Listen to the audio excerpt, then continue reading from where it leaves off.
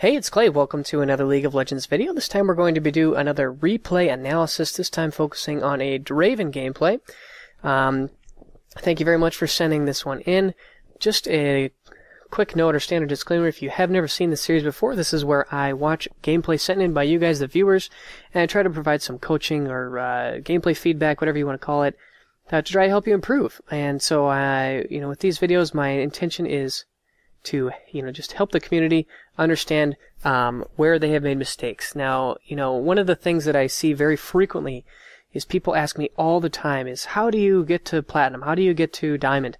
And that is a very difficult, or even just how do you get out of bronze? And that is a very difficult question to answer because there is no, um, there really is no way to kind of quantify that. And certainly, like I know sometimes people will collect some general tips, things like ward and and improve your map awareness, improve your CS, and those are are good and helpful things. But um, personally, I think a better way is to focus on a specific game. So, um, you know, just in terms of like goal setting, this doesn't even relate to League of Legends, but if you just say, if you ha- if your goal is is excessively large, if you just say, you know what, I want to lose 200 pounds, you know, if you're a really overweight person, you want to let, I mean, it seems like a very daunting task. How do you lose 200 pounds? I mean, it seems like something you can't do. But something that is very possible is to say, you know what, I'm going to exercise for 30, 30 minutes today. Well, that's something that's very, very tangible, something very practical, something that is very easy to do. And so, in the same sense, um, in a game of League of Legends, if you want to get to Diamond, it maybe seems unfeasible. But instead, if you look at a replay and try to analyze it and, and find some individual specific mistakes, that can be uh, maybe a lot more tangible, a lot easier way to improve. And um, so, yeah, we're going to go ahead and watch this gameplay. If you want to send in your replays, feel free to do so at kleyplaysreplayanalysis at gmail.com. Uh, this is actually one that was sent to me. The person had uploaded it to YouTube. I've also gotten other ones where people upload their videos to Twitch and that is an excellent way to do it. I also will accept replays through um, Baron Replay, OP.GG, LOL Replay, although it's been very buggy. Um, but a way like this is actually pretty foolproof. So thank you for this. Now let's go ahead and get into the replay. I'm going to back it up a little bit and um, watch some of the initial laning phase. Now I believe that the, this is a duo queue. I want to say it was somewhere between gold and platinum.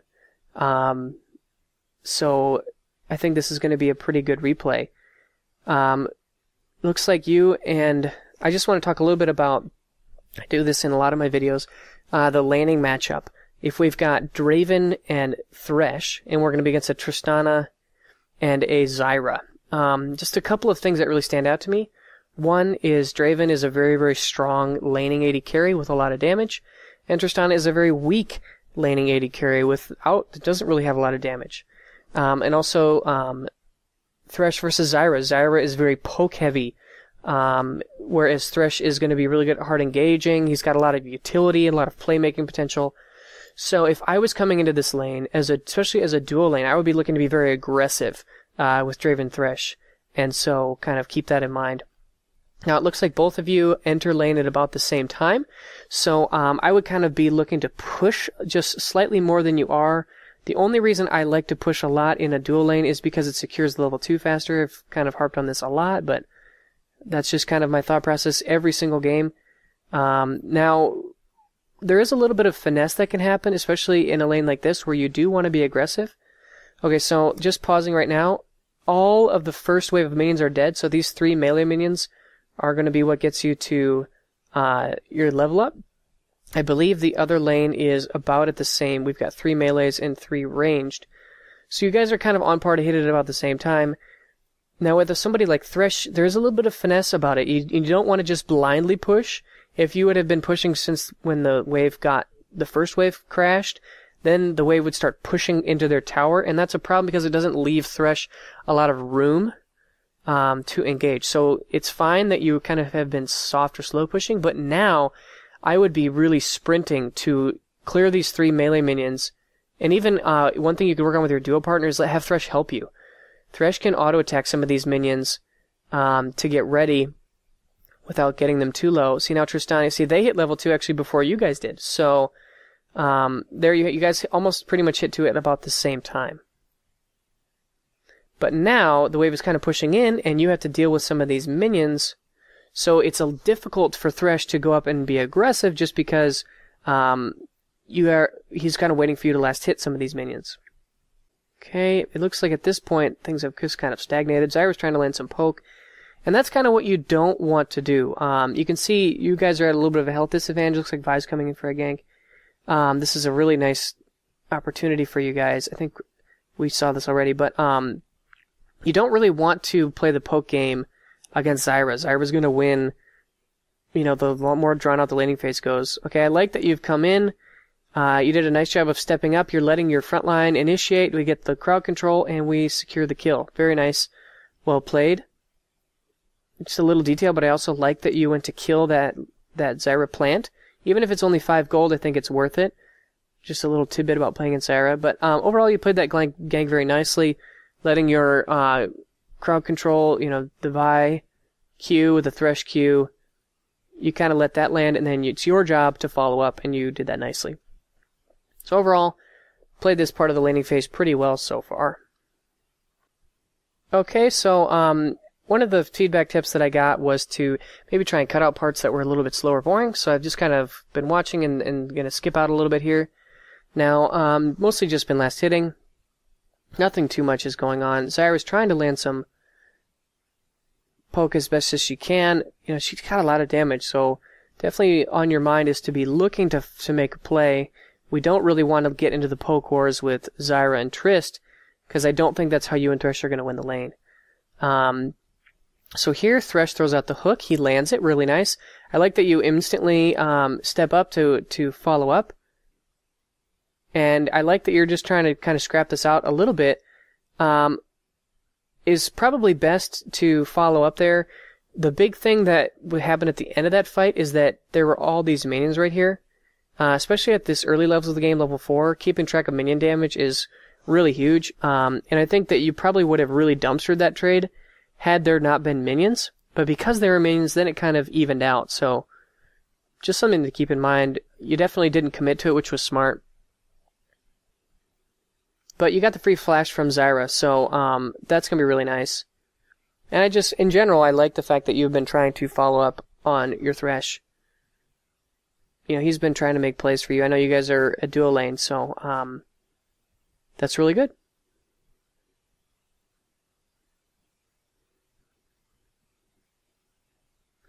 Okay, um, it looks kind of like they went MIA. I'm not sure if that's because Vi walked up through the bush.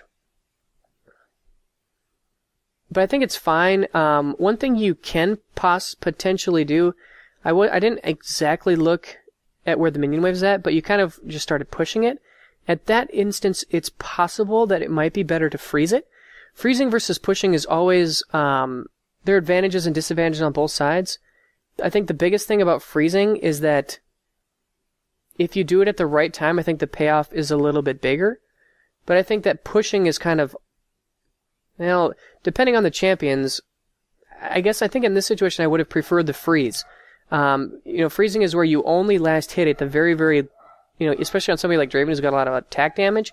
You really want to focus on only last hitting at the very last second, as if you were an AP carry, and you know maybe face tanking a little bit of minion damage until the next wave gets there, so that it can't get into tower.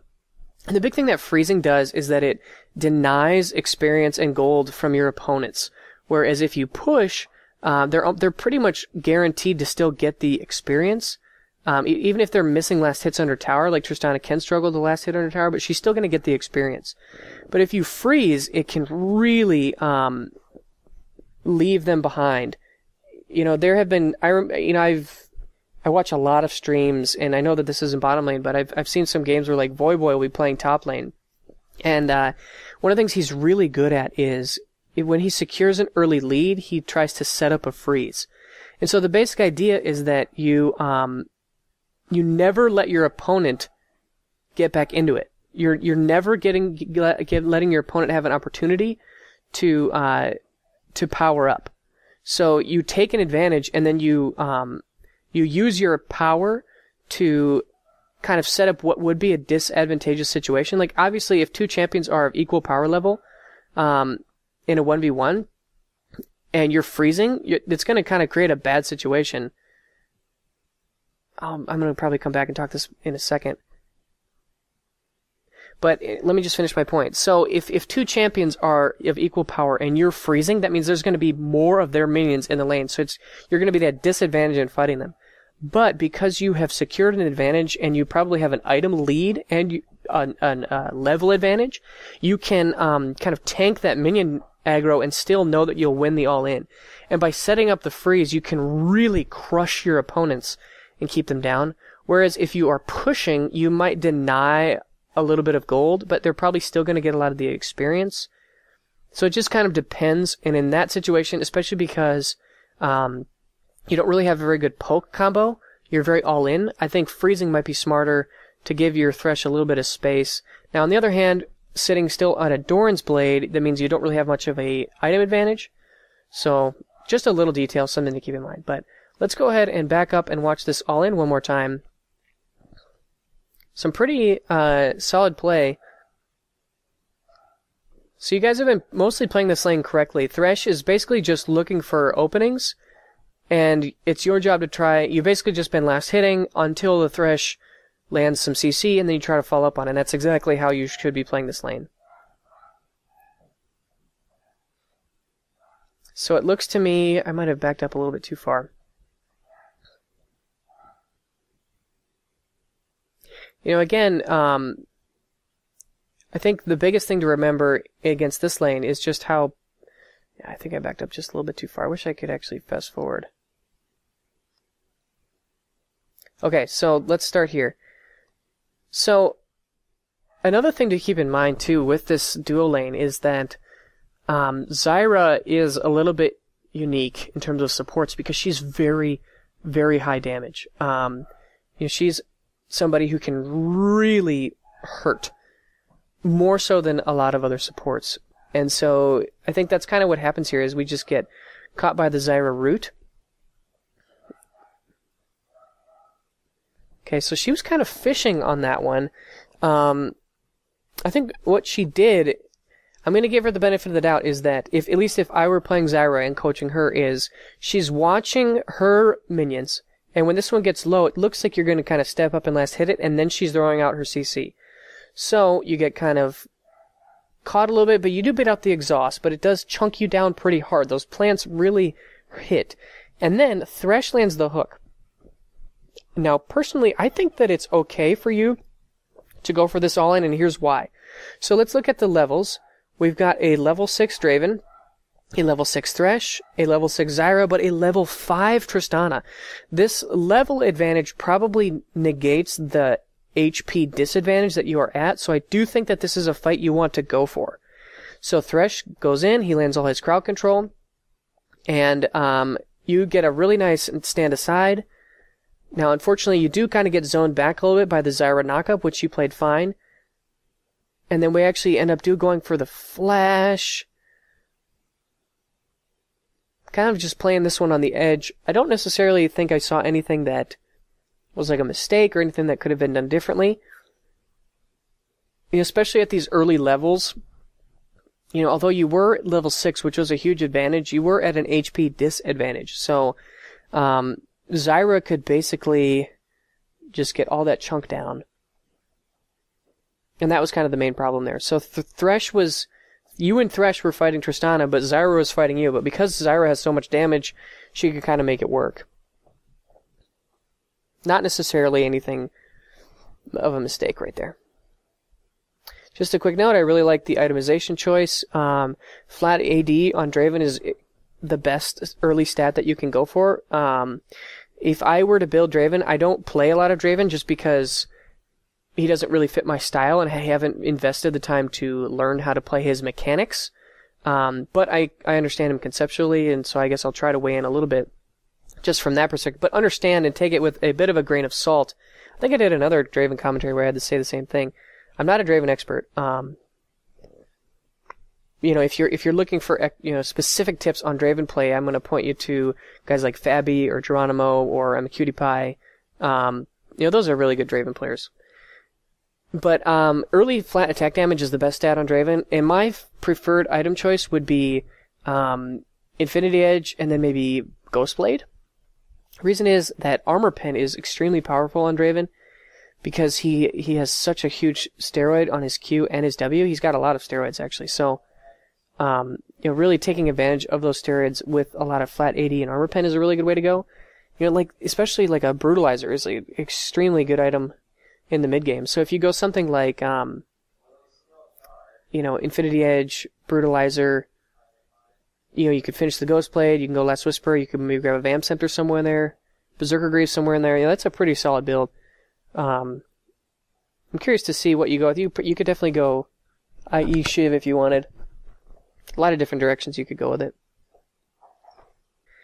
All right, so um, now as this laning phase continues, taking a little bit of Zyra poke, and it looks like we're kind of going for this fight here.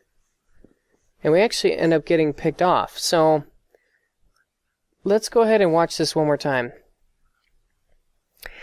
I think that the biggest thing here, I guess, hmm, I w- I wasn't watching that really specifically looking for what went wrong, but my initial reaction was just that it kind of seemed like you were 1v2ing. You, you really weren't in a position where Thresh could land any lockdown or, or kind of set up or initiate, and at the same time you were taking pretty much everything from Zyra and Trist. So we hit the taking the damage from Trist. Yeah. Okay, so basically that what happened here is you're in a almost a pure 1v2. Um, Tristana, well, it started off with Zyra landing the snare, which is, I mean, I guess you could, I don't really know how, like, I don't think it's very good feedback for me as a coach to say, hey, dodge the, the snare. I, I don't think that's necessarily very helpful. Um, but I think that once you got snared, you chose to stand and fight, and that was maybe where things went a little bit wrong. Thresh's hook was on cooldown. He had just thrown it a little bit earlier, and he wasn't really in a good position to box or flay. But in the meantime, we were taking a lot of plant damage. We took the Zyra up, and then Tristana was wailing away. And so, I guess my, you know, if we just look at this death recap, this is a, another. This is a really good um, habit to get into for those of you that don't do this. Is read your death recap every time. You know, and just look at how much damage we took here from the Zyra plants I believe that's just the auto attacks from the Zyra plants. And then also, this is probably Buster Shot, and then. Or this might have been the E active, I'm not exactly sure. But still, a lot of damage from that combo, and it's basically just because. Um, I think part of the problem was just the positioning that we were so close to their tower, and because you know we didn't have an opportunity for Thresh to initiate the fight, which is really what you want to do. As as an AD carry, you're really at the mercy of your support and it's it's going to be difficult to really do a lot unless you uh, let your support be the one to start it off.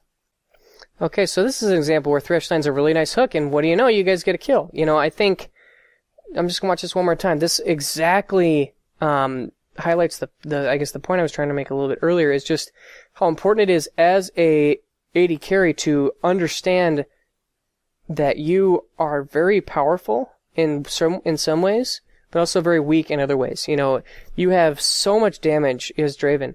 You probably are one of the scariest champions in the game at this point. Um, but in terms of starting fights, you're not the best. So Thresh lands the hook.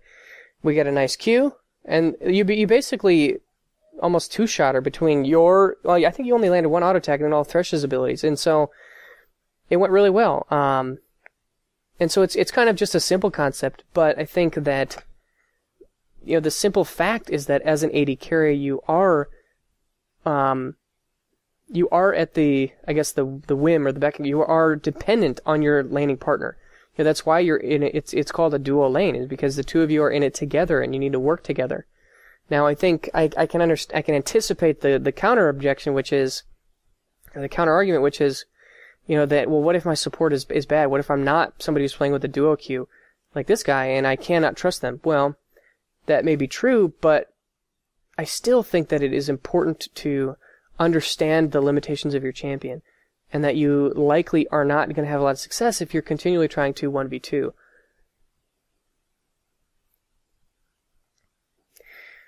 Okay, so it looks like we're starting another fight. I think that was a good flash. It probably end up saving your life. I also like that you went aggressively there.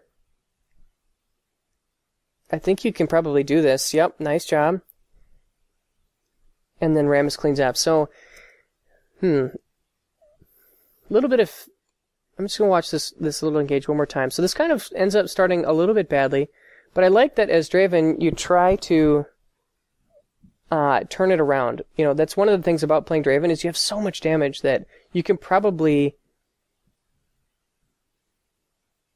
Okay, nice job picking up that kill, and then really nothing you could have done there.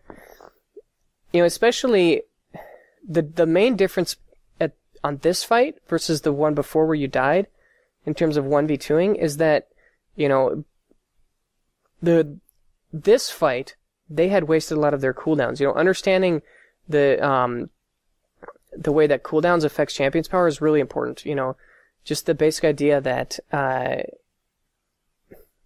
you know, basically, if if they have Zyra, if she has cooldowns up, if she has her her snare and her plants and her ultimate, she is way stronger than if she doesn't. It's a pretty simple concept, but still something that is important to understand. Um, and the reason why you were able to get that kill there, and if Rammus hadn't shown up, probably could have gotten a double kill, is because um, they didn't have the cooldowns that they needed. Okay, so um, just a quick note, and this is I might have said this in one of my games before, but one of the things that I notice a lot on streams from like high elo guys, one of the main differences between low elo, bronze, and silver versus higher elo is the frequency with which higher elo players will turn a victory into an objective some some stuff here I want to talk about. I'm just going to pause and finish my thought.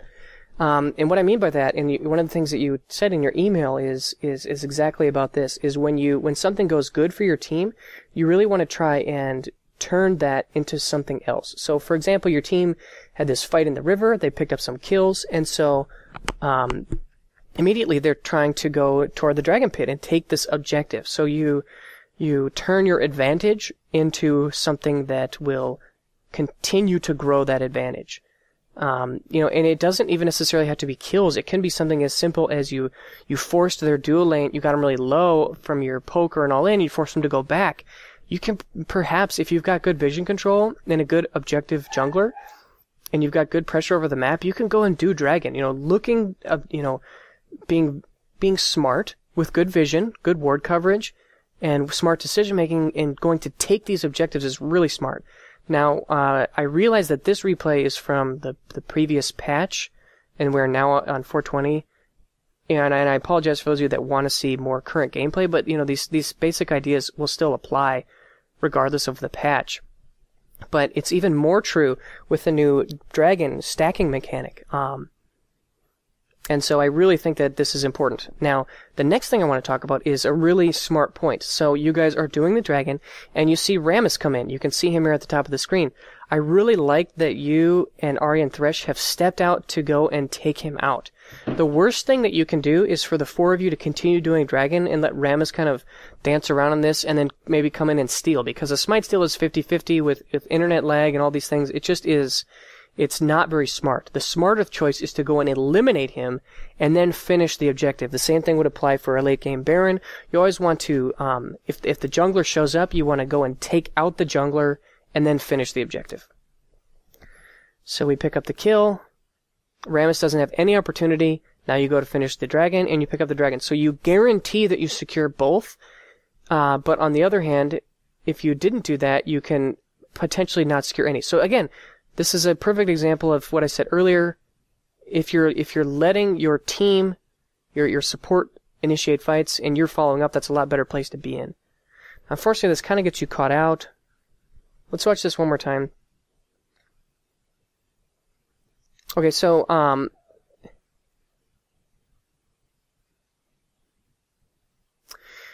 so we picked the dragon. Now let's think about the decision right here. So the choice that you and your support make is to go and be aggressive and to go fight.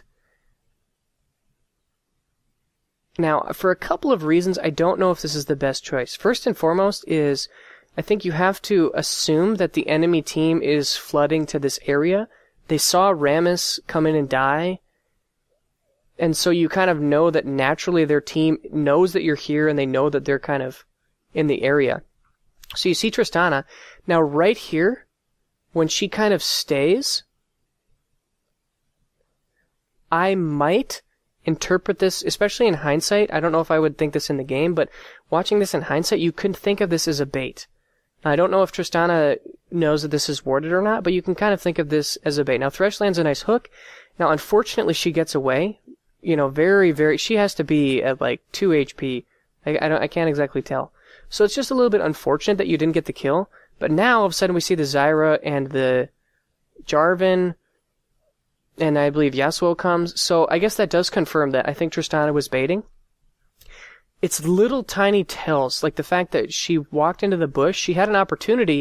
If you look at the minimap, she could have ran to her tower or ran back. She had her W up, but she stood to. She chose to stand and stay and fight. Now she she got away with like the you know the hair on her chinny chin chin, which is a little bit unlucky. But I also think that if you really look at the decision that was made, one just based on the fact that your team had just taken the dragon, that's going to mean the enemy team is probably heading in that direction. And two, um, if you look at the fact that the Tristana kind of gave had a little bit of a tell there, you maybe could have interpreted that situation as a bait. You know, and I guess overall, you had you had gotten some kills in the dragon. You had taken the dragon itself. So you had gotten kills in the river. You had taken the dragon itself. You had killed Rammus. I kind of feel like taking that that that invade into their tribush was just a little bit greedy and you if you had made one of the assumptions that their team is going to follow up and if you had kind of read Tristana's activity as a bait all of that information together kind of tells me you know maybe not the smartest choice so just a little something to learn from um, especially as you get higher up i think understanding how to read player behavior and looking to to read baits is really important um, pe- players will be actively looking to bait quite frequently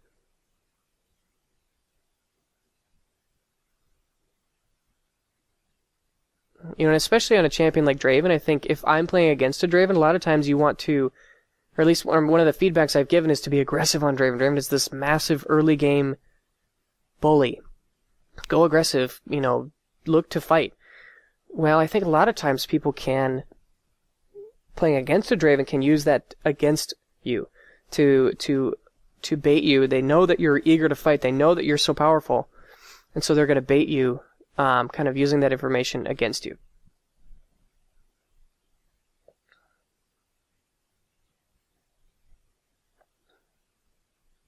Okay, unfortunately, it looks like your team kind of got caught out in the river.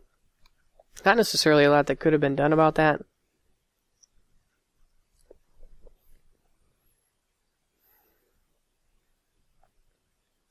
Because, you know, I think you guys have been winning fights. You definitely have powerful champions. I just think that a little bit too much overextending and a little bit. I guess we could just have been a little bit smarter about how we're playing some of these things out. Could have really led to a little bit bigger advantage. Yeah. I'm gonna watch this one more time. You know, because you know we've we've talked about baits. I think that this is another prime example. I want to watch this again. So one of the things we talked about is to let your support initiate. That's kind of another thing that's missing here. And then, so just think about this situation. Imagine if you're Tristana. If you see Draven on this health with an Infinity Edge, and you're Tristana and you've got a Static Shiv, I play a lot of Tristana, and I know for a fact that I will get absolutely dumpstered in a 1v1. So when I look at this situation, like, you have to, you have to think, why is Tristana here? Is she making a mistake or is she trying to bait me? And especially after the bait she did in the Tribush area, I would really be suspect that, that the Rammus is here. So again, I th- kind of think she's using your mentality, which is correct, a little bit against you. And that's kind of where, you know, this is just game sense. There's not really, this is just game sense. You know, it's, it's one of those things where the only way to get good about playing against baits is to get baited a bunch, and then you learn. So I see you kind of wondering what the right item choice is. Interesting, going for Last Whisper. Again, I'm not going to weigh in on the specifics too much because I don't necessarily think that there is a mistake. Last Whisper's second item maybe is a little bit hasty, but I also kind of like it, specifically because there's a Rammus on the other team. Rammus has a lot of armor. I also think that a lifesteal item is essential against Rammus. Rammus um, has a lot of damage return. He's probably maybe going to get a Thornmail too. At least I would get a Thornmail. You've got a Fiora and a Draven. And so um, I think Last Whisper and a lifesteal item are really good. Could also maybe go for a Brutalizer. I just really like the um, flat armor pen on Draven, just because he hits so hard with his Q. Okay, as we kind of have a little bit of a lull, I do want to address some of the questions I haven't pulled up here on um, another screen. I guess I don't want to miss anything. Good stand aside. So, uh, one was, do you have any tips about creating picks so we can take objectives easier? Uh, I'm just going to pause and address this. So, creating picks, especially in the mid game, is all about vision. Vision is um, what leads to creating picks, and especially with champions like Ahri, Thresh, Fiora, Vi, you have a really good team for creating picks. And so the best way to get picks is to set up really good vision control. And so if I were you and I was playing on this team, I would consider having a pink ward out on the map that's yours. And whether you're setting that, you know, you can put it in pretty much any bush. It doesn't really matter. Um, but if you're sitting in a, a pink warded bush and you have these teammates, your team is really scary. So, you know, it could be in this bush. It could be in this bush down here. Um, same thing on the other side of the map. Doesn't necessarily matter where. Just um, controlling vision, and by that I mean you you have vision of the enemy team and you're denying vision from them, is the best way to set up picks. Second question: Do you have any tips to get inhibitors and inhibitor towers? They have a lot of wave clear and can defend pretty well. Um, some of these questions are maybe a little more late gamed, but the best way to deal with that is to oh, I'm gonna get back to those questions in a little bit and, and quick analyze this fight. Okay, so I really like that decision right there to go for the Tristana. Good job with the lantern. I think you played this fight really well. Um, fortunately, the Vi went down, and then definitely, yeah, I think we can make something happen on this Yasuo. Ooh, Rammus didn't quite get the taunt off. He would have probably been dead had he. Watch this fight one more time. Um, can I slow this down? I don't think so. Well, um, so just from what I saw, I, I like I saw that you were auto attacking the Rammus, and then you immediately go after the. So I'm just going to pause right here. So you start out attacking the Rammus, and then you go for the Tristana. Now, this is a little bit risky, but I think it pays off. I think that this is also a concept that is a little bit difficult, but the overall, I'm just going to call it target switching. Target switching is essential on an AD carry. And with Rammus, you got to understand that he he just used his taunt, I think, and all his everything. He's he, he doesn't have anything going for him. And also because you see the Vi ulting, I think that it's smart for you to target switch onto the Tristana because you can basically instantly kill her, which is what happens.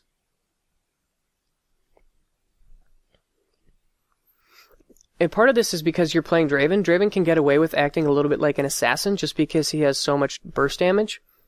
You know, with uh, with his Q and a crit, I mean, his burst damage is obscene. But also realize that there are going to be times where that decision is going to cost you your life. So, I mean, the reality is that it's, you know, League of Legends is such a fluid game where you are constantly evaluating and, and making decisions. It, it, it's impossible. You know, there are a lot of times where I would suggest someone to not do what you just did you know, the, the common advice is to auto attack the, the closest target, auto attack the safest target. Well, in that case, you didn't, and I think it was the right call. So you just kind of have to use the information you've been given, evaluate it on a case by case basis. That was really well played. I like that you, um, you basically were just trying to bait him into your team. I think you played that really well you know, you could you you used your W to give yourself just enough time to get into this bush, and then you used your E only when it was advantageous to set up the Ahri and the Thresh to follow up. I think that was a really smart choice. I think other some other players might have panicked and thrown the E out right away. Well, you're looking to create an opportunity and make a play. And that's really, I think, an important takeaway, an important thing to understand is that in order to win games, sometimes you have to make plays. Good stand aside. Negate that. Holy smokes.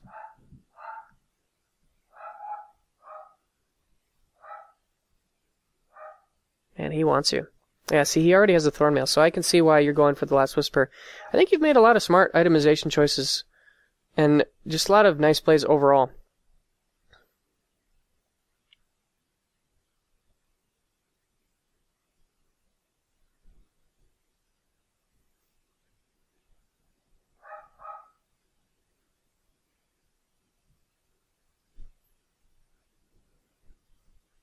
It's just a very small thing. But um, I saw in chat after that play happened, you said, "Gee, good job." It's just a very little thing, a very minor detail, but stuff like that is is really important. Um, one of the things I've talked before on my channel, but not so much in some of these series, is just the importance of of morale, the the human element. You know, League of Legends is is a game where five human beings are interacting, and that the psychology thing, the the team play is almost as important as any of the, anything else. The, the decision making, the mechanics, uh, having a team that have has five players that are in good spirits, that believe that in one another. You know, these are it, it's almost a joke just because people's experience has been so bad. Well, I think that if you are really taking active steps to create good team morale, that can be really powerful. And so just a little thing like saying good job when your allies make a good play can be really impactful. So I like that. I like that a lot, and I want to encourage that to everyone.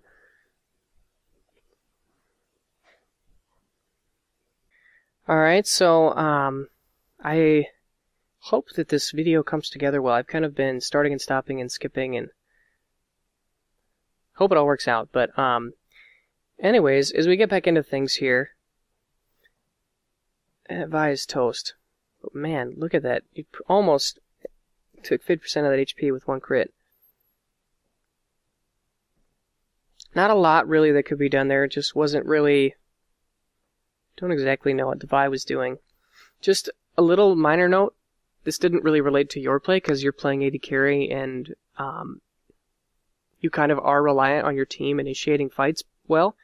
But one of the things that I always tend to uh, the best way to gauge aggression is to also coincide it with vision. So the fact that you only had one, basically two wards, and a lot of the map was pretty blank, is a tell for me to be cautious. On the other hand, if you have a lot of vision, if you have vision, you know, in by their red buff or their wraiths, I guess chickens now, or their wolves, or their blue buff, and you can see where the enemy champions are that is the best way to know how aggressive you should be. So for that Vi to go in where you didn't have a lot of vision, well, it got her pretty much screwed because, you know, she engaged a fight that all of a sudden all these people shot out of nowhere. You know, you really want to be focusing on coinciding the level of vision you have with the level of aggression you have. If you don't have vision, you can't be aggressive. If you have vision, then you can be aggressive.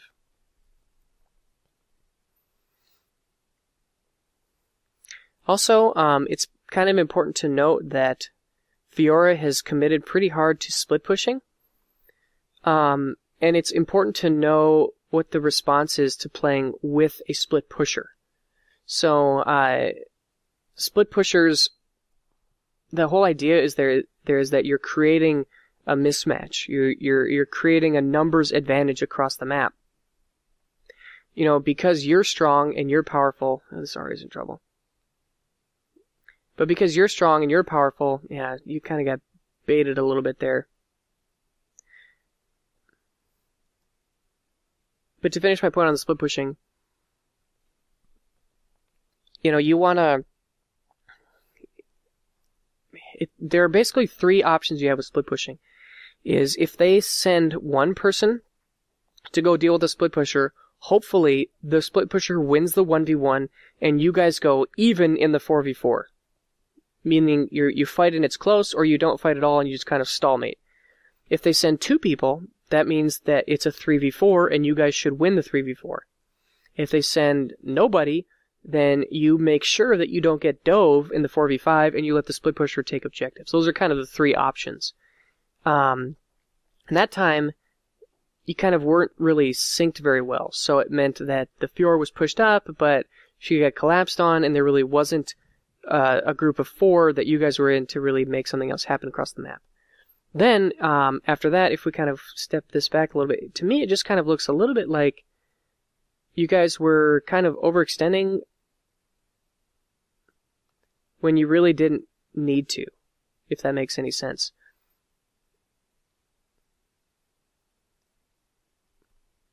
Apologize, my, my video quality just plummeted for some reason. So, I mean, just kind of looking at the scenario and the situation, there's only two of you here. There's only two. It's it's you and, and Ahri. Ahri missed her charm. So at this point, I kind of feel like if I were in your shoes, I mean, I don't really know what good things will come out of this situation. Doesn't really seem like much good will happen. So at this point, I kind of feel like being up this far without your allies, it just seems very scary. You know, their team has a lot of ways they can get to you. Rammus, Jarvan, Yasuo have quite a bit of mobility. It just seems like this is very risky. Okay, sorry about that, guys. So now the Ahri gets engaged on, but unfortunately, Ahri is a highly mobile champion, and you aren't necessarily. And you pretty much just get totally left for dead there. Yeah, I guess I, I kind of feel like that was a situation where we maybe were a little bit overextended. Hmm. Because I, I, guess honestly, I really think that the main problem with that last engage was just that the Fiora and the Ahri were kind of overextending, and then you kind of got caught into it. But I think that it's very important when we are doing a series like this, and when you are trying to hopefully watch this video and get some information that you can help you improve, you know, focusing on the mistakes of others is never going to help you. But if you focus on what you could have done better, that is something that will guaranteed help you out. So just kind of keep that in mind.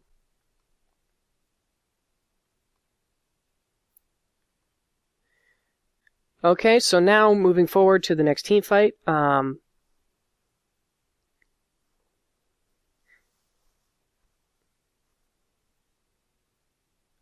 Overall, this has been played very nicely.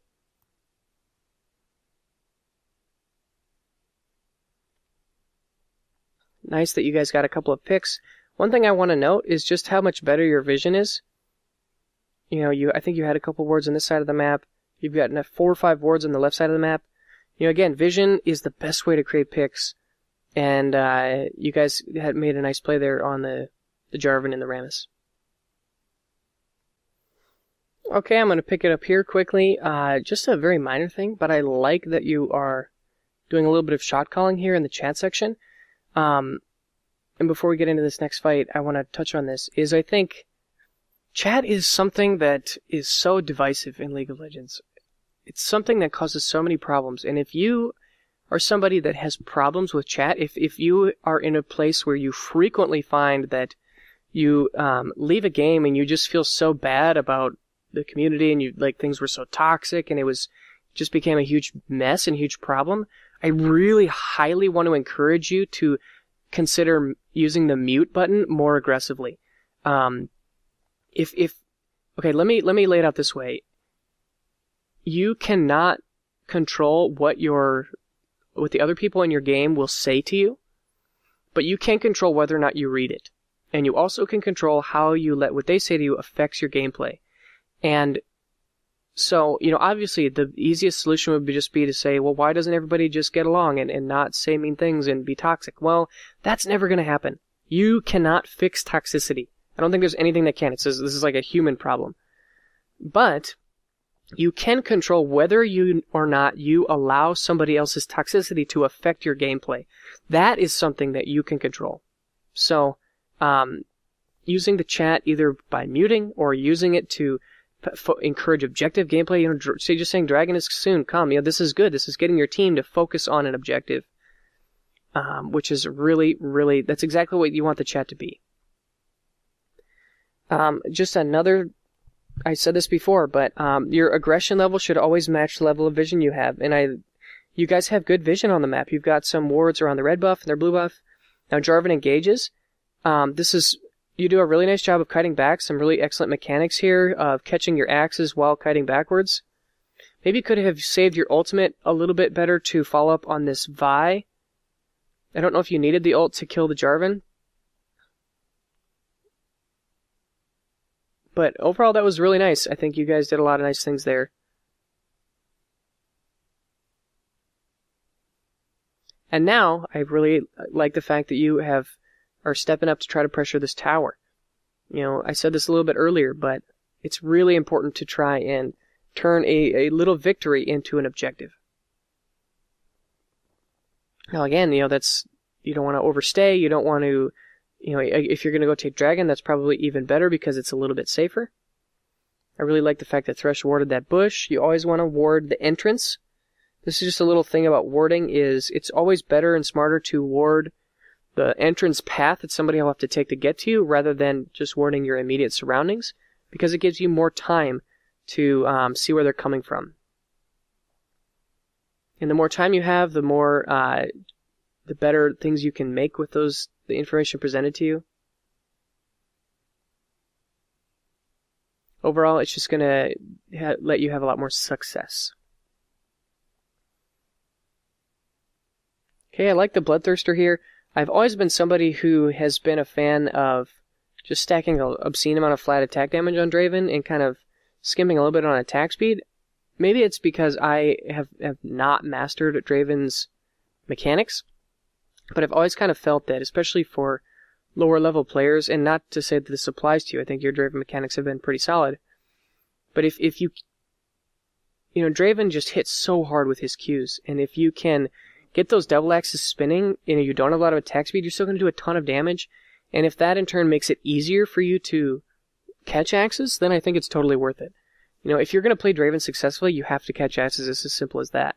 So if you can itemize in a way that will maximize that damage and make it easier to catch them, then I think it makes a lot of sense.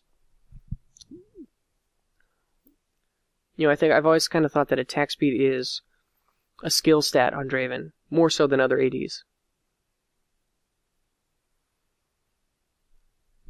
Alright, so now you guys are um, kind of got a little bit of a 4-1 split push going. I talked about this earlier, but remember our scenarios. It looks to me like they've sent a bunch of people top. Now, hmm. I personally think that your team could be playing this a little bit better. Inst- I think Vi goes up to help, but I think instead you guys should be focusing on this little Tristana and this mid tower. Um, perhaps even maybe going for a little bit of a dive. I don't know.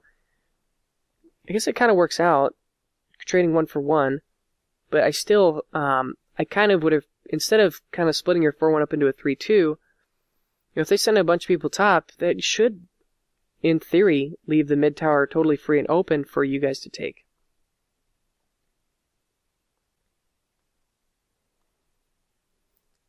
Okay, so I'm going to pick it up here. Um, also, just quickly, feel free, guys, to leave me some feedback on whether or not this kind of um, where I'm focusing on the highlights a little bit more than just talking through the whole gameplay, whether or not you think that is a good choice, if it's something that makes it a little bit easier to digest as the watcher, uh, feel free to let me know. So, a couple of thoughts here. The situation is that the enemy team has Baron, and it's a 4v5. They kind of snuck it, and they killed the Fiora who checked. Now they're sieging this tower. Again, this is a 4v5. Um, I would kind of give up this tower. Now, Vi goes in, and she just kind of walks right back out. Like, I don't really understand why the enemy team didn't just hop all over that and blow her up. Because I think that was a mistake. Now, unfortunately, the CC is just landing on Rammus, who's exactly what I want. But then Ahri here makes a really nice play, and she lands a really nice combo on the Jarvan. Vi follows up, and we get the kill. So now we're at a 4v4. But then two things happen here that aren't so good is, first of all, this Yasuo Windwall comes up and really makes life difficult for you as the Draven the Vi gets totally melted, and Ahri's kind of waiting in the wings. I think she still has her ult, but all of a sudden, um, the your the front line, the Vi and the Thresh just got totally melted, and I don't think there was anything you really could have done about it in that situation. Really nice stand aside there, and you probably did need to use your heal, um, and just kind of run all the way home. Now, at this point, I really like that you choose to rush your home guards. Um, home guards in a situation like this are really important. This game is definitely still in the balance, and uh, I think it definitely can be won. Okay, it looks like the Fiora engages, and uh, you know we're just here to clean up. That's perfect. I think that um, you played this last couple of minutes really, really well. So now they just got the inhib, but I think we managed to get an ace. I'm not exactly sure if any of them are still up. So it's two, two of you are still alive, and I think we just aced them. So at this point, it's really, I think so. I think it's really important that we try and take something. And if I were you, I would be really trying to encourage the Fioria. I'm sorry, not the Fiora, the um, Furia. There's no such thing. The Ahri to join with you, and I would really like to see the two of you. Well, yeah, I guess maybe it wasn't an ace. Perhaps I'm reading into the situation wrong, but I would have really liked for the two of you to go and try and take something. But instead, we're just kind of cleaning up the map. I, I don't know, I'm not going to be too firm on this one. I don't necessarily think you've made a mistake by coming to collect red buff. But I do think that this maybe would be have been an opportunity to try and do something. Basically, whatever you can do to try and, uh, anytime you get a bunch of kills, whatever you can do to try to follow up on it, to secure some objectives is really, really good. And if, if, if, if only that means is that you're going to push out a couple of super wave minions for free, then maybe that's worth it, you know, just because super waves, super minions are so brutal.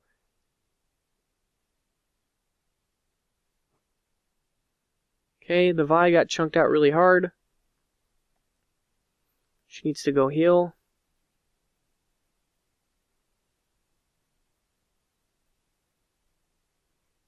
Just a quick comment. Um, I really think you've done a nice job of itemizing really well this game. Um, you know, you got the second item, Last Whisper, third item, Bloodthirster, is perfect against Rammus, who's rushing Thornmail. Those are the two items you absolutely need: is Last Whisper and Bloodthirster. You need the additional lifesteal to deal with the um, the crazy amount of self damage, or you know, you're going to be damaging yourself by auto attacking him, and you have to auto attack him. And then Last Whisper is absolutely necessary because he's got so much armor. So Fortunately, our Vi got caught out again. Um, you know, at this stage of the game, it really is a team game. And unfortunately, you guys just haven't really been able to make the plays that you need to make. Nice ultimate there. That was a really nice job of following up on the Fiora ult with your ult. The Fiora just did so much work right there. Alright, so I think we're going to get a full ace off of this. Uh, Rammus might get away, but you know, this is really what I, yeah, I, I really like the immediate pings towards top. Whatever you can do to take something. Have, have somebody, I think Ahri should go back. And I think, yeah, I think you guys are making the is, pretty smart call here. Going to push top and take something is definitely, I think, the smart decision. Now, unfortunately, though, we don't have a base, so and Rammus is still up, and he probably could at least keep you around long enough for chain CC. So going to take that turret probably is impossible. At this stage of the game, with these with this Nexus turrets down and the inhibitor down, it's really hard to make a play until the inhibitor at least respawns. And so, yeah, I think I think you guys have definitely shown that you can win this game. You you you can win fights. Um, but it's just pretty crucially important that you get the right engages and that you're able to do what you can to take out Rammus. You know, um, Rammus and Jarvan are going to be diving towards you. There's just nothing that can be done about that. Yasuo probably will try to come with them. But if you can do whatever you can to try and stay alive, alive as long as possible, um, you know, using your QSS to negate the the taunt, um, using your E to stand aside maybe Jarvan or Yasuo, whatever you can do to try to stay alive and deal as much damage as you can in these team fights is really your goal. It's you know playing AD carry is pretty simple. It's pretty straightforward.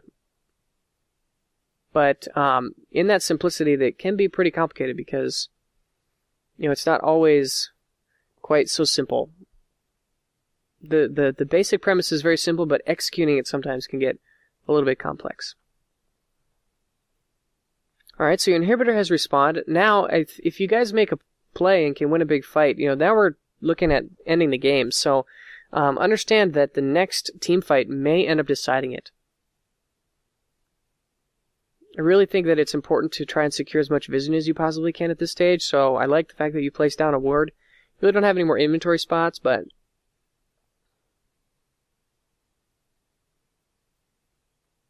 whatever uh, you guys can do to secure a lot of vision, especially in their jungle, is going to be really powerful.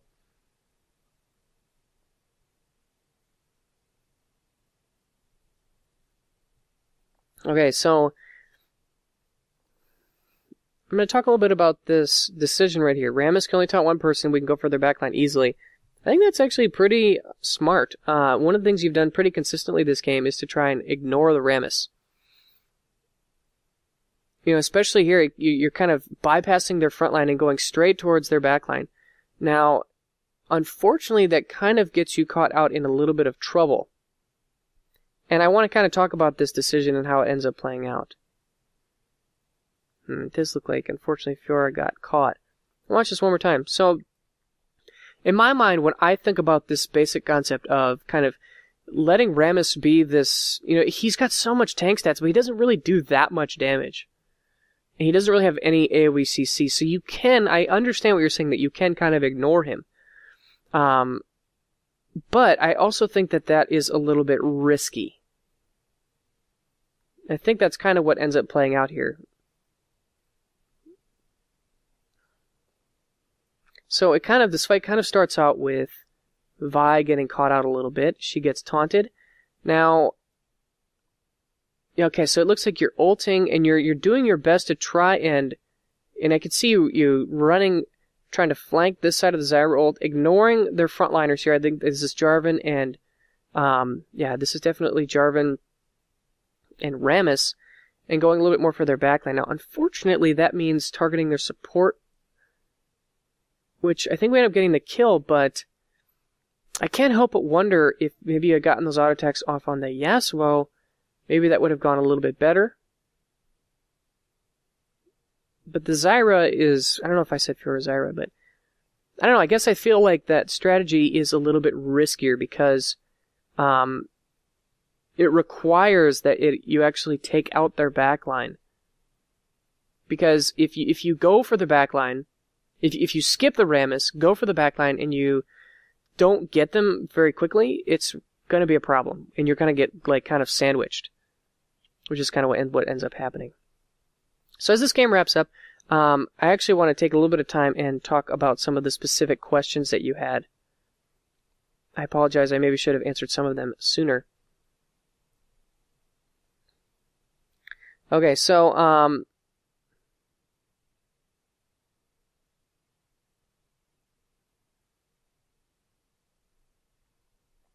So one of the things you talk about is, you know, you had that mid-game advantage, you had pushed up towards their base, but weren't really able to break in and end the game. Um, and so I think one of the core questions that you had is, do you have any tips to get the inhibitor or to get inhib towers? What if they have a lot of wave clear and defend pretty well? That's kind of what happened. Um, I'm gonna just kind of back up here and just kind of see what the how the map lays out. You know, so if we just kind of pause it and look at the mini map right here, you guys do kind of have a bit of a turret advantage. Um, and definitely the best way to answer that question is, is you need to pull them out of their base. And I think the best way to do that is with a Baron. And I, I think one of the things that your team could have done a better job of doing is controlling the vision around Baron. Maybe if you had bought a pink ward and kind of put it in one of these bushes or, or just even encouraged your duo partner Thresh to really do a good job of warding up the Baron. Uh, I know at some point in this game, their team had snuck a Baron. I don't know if I showed that or I had skipped it, but they kind of just snuck it and nobody really saw because we didn't have good enough vision. You know, the best way to pull a turtling team out of their base is to force objectives, especially now in the new season with the stacking dragon buffs. Um, there are a lot of ways with Dragon and Baron to to pull them out of the base and force them to come and fight you. And if you can control vision leading up to that objective and deny vision at that objective, you can really put your team in a good position. As I said earlier, your team is really good at creating picks, and so uh, the best way to do that is with vision. Okay, another question.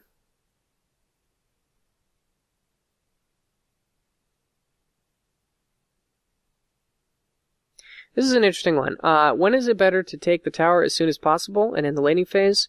Or when is it better to prolong the laning phase and not take the tower? So I talked a little bit about this with the freezing versus the pushing. Um, so there are two main strategies with this. In, one is that you're gonna you're gonna push up and take the tower fast and then roam. So if you are pushing them under their tower, hopefully they're gonna miss CS and you're gonna take the tower fast. So you guys have more map control and map pressure. Uh, but one thing that you are doing with that strategy is you are making sure that they get all the experience and they at least have an opportunity to get a lot of the gold. Um, but that does give you better map pressure and so maybe you can go and take a dragon, or maybe go mid lane and take a turret. But I also think that if you freeze and and you try to zone, well, first and foremost, you need to probably have an item advantage or at least a champion advantage where you can win an all in. And um, I think that the Tristana was playing very passively, and the Zyra was trying to poke down a lot. So there weren't a lot of clear opportunities, at least in my mind, from the laning phase, where you could really set up a good zone. I know there was one I had talked about I guess you kind of just need to evaluate it case by case. If you if you zone, then you can really keep them shut down. You can deny a lot of experience and gold, and they just kind of are in this place where they're really stuck. They probably got to do jungle camps, which takes stuff away from their jungler. But it's also a little bit riskier because they could be roaming and making plays across the map. You don't have as much map pressure because you're kind of stuck by your own tower. I think that with this, you kind of need to evaluate it and specifically with Draven, I kind of like freezing a little bit better just because he's so strong in some of these skirmishes where you can probably win. Okay, uh, specifically for Thresh, when do you want to start Relic Shield, Doran Shield, and Ancient Coin? This is actually an interesting question. I think specifically with Thresh, my personal opinion is I'm not a big fan of the Relic Shield. And let me explain why. So, First and foremost, I think that Face of the Mountain is a pretty good item on Thresh. It get, makes him tanky, it gives him cooldown reduction, it gives you the shield. I think Face of the Mountain is fine. But I think that Relic Shield isn't my favorite, and there's one reason. This is less true when you're duoing, but in solo queue, Relic Shield on Thresh is something that always makes me squirm if I'm AD carry. Because Thresh is not melee, he doesn't get the execute bonus, you always have to trust him a little bit to get the last hit. And especially with the passive on his E, where the soul damage isn't always there. It like ramps up based on the amount of time he spends not auto attacking. Um, I guess I don't really like Relic Shield on Thresh. I really like Coin because I think that sh- the Shurelya's, what's it called? Uh, Talisman, Talisman of Ascension is really good on Thresh. Thresh has a ton of utility and Talisman just gives him even more. And then I think that starting Ruby Crystal and rushing Sightstone is also a good choice especially if you're going to fight a lot. Um, the HP from Ruby Crystal is, is good. So, I guess those are my thoughts. I would prefer coin or, uh, you know, you can even start start coin and then rush Sightstone, or you can start Ruby Crystal, pick up a coin, and then grow Sightstone. That's my preference, but that's mostly for solo queue. I think in a dual lane, Relic Shield is fine. But anyways, those are the questions.